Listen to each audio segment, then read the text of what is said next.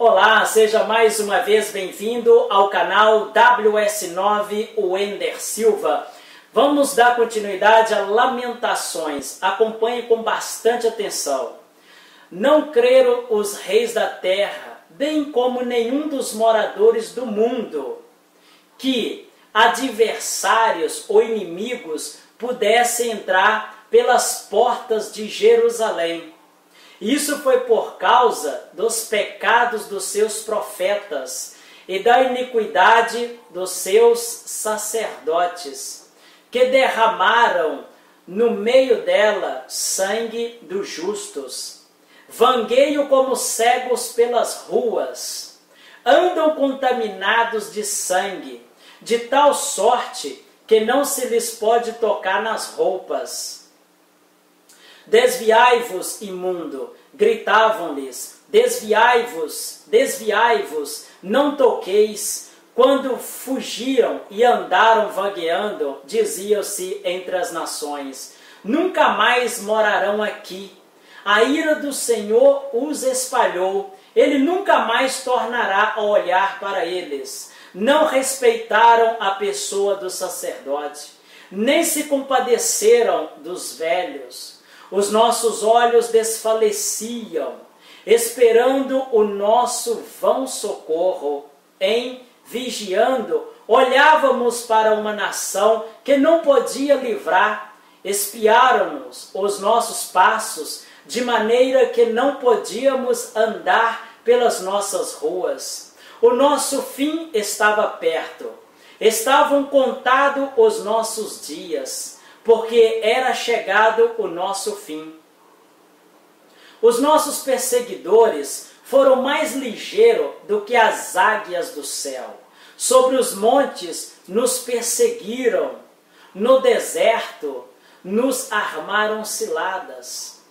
O fôlego de nossa vida, o ungido do Senhor, foi preso nas covas deles o mesmo de quem dizíamos, debaixo de suas sombras viveremos entre as nações. Regozija-te, alegra-te, ó filha de Edom, que habitas na terra de Uz. O cálice te passará a ti também. Embebedaste-as e te descobrirás. Já se cumpriu o castigo da tua iniquidade, ó filha de Sião. Ele nunca mais te levará para o cativeiro. Ele visitará a tua iniquidade, ó filha de Edom. Descobrirá os teus pecados. Está vendo? Todas essas nações oprimiram Jerusalém, oprimiram o povo de Israel. Essas nações, Edom, todos eles estavam acabando com Jerusalém. Todos eles. E os profetas, os sacerdotes, sendo assassinados, sendo mortos nas ruas, os jovens, as crianças, todos ali uma carnificina geral. Todos sendo assassinados por não obedecer à palavra de Deus. O castigo. Existe uma passagem no livro de Provérbios que fala: Há caminhos que para o homem parece perfeito, mas são caminhos que conduzem à morte.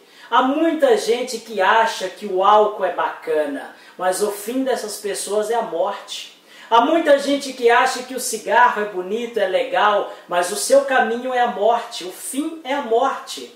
Há muita gente que acha que a droga é fantástica, é maravilhosa e aquela sensação, mas a televisão já mostra o fim dessas pessoas. Não é preciso eu te falar aqui o fim. Há muitas pessoas que imaginam que outros caminhos é a solução, é, é fantástico, mas o fim desses caminhos é sempre a morte, é sempre a destruição. Então, meu querido, se você quer ter uma vida tranquila, serena, segue os preceitos de Deus, segue a palavra de Deus e você poderá ter uma vida bacana, você poderá deitar no seu travesseiro e dormir o sono do justo.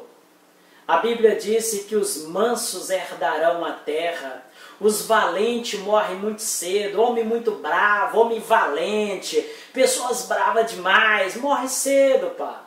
Seja manso, seja passivo, seja enquadrado dentro da palavra de Deus e essas desgraças que você está acompanhando em todos esses vídeos sobre a lamentação, elas não te alcançarão quando você começar a absorver a Bíblia Sagrada para dentro do seu coração. Esta é a sua palavra de hoje. Eu te vejo aqui amanhã com mais uma palavra de Deus.